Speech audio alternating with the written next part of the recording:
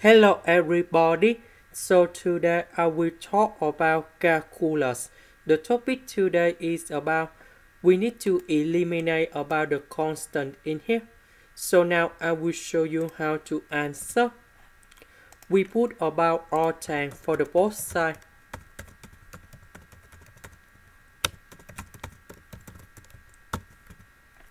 So this one you got about 3x plus c.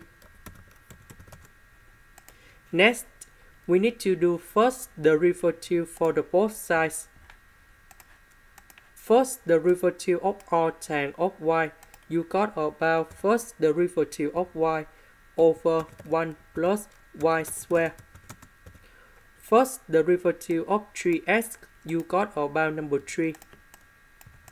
About c, that's about the constant. First the derivative of the constant, you got about 0. And now, I will put this one, go to the right.